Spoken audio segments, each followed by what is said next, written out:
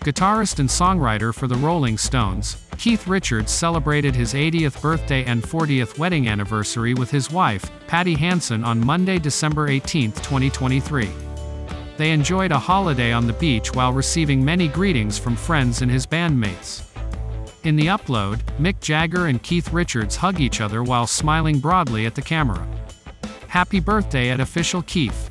Love Mick, wrote Mick Jagger in the photo caption. Meanwhile, Ronnie Wood uploaded eight photos with Keith Richards. Some of it was when they played guitar on stage over the years. Happy 80th birthday at official Keith, wrote Ronnie Wood.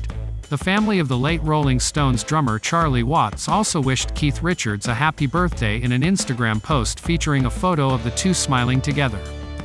Charlie said of his lifelong friend, Keith is the most interesting, most different of us all.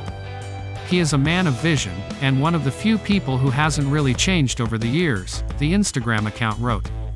Charlie Watts, which is now held by his family.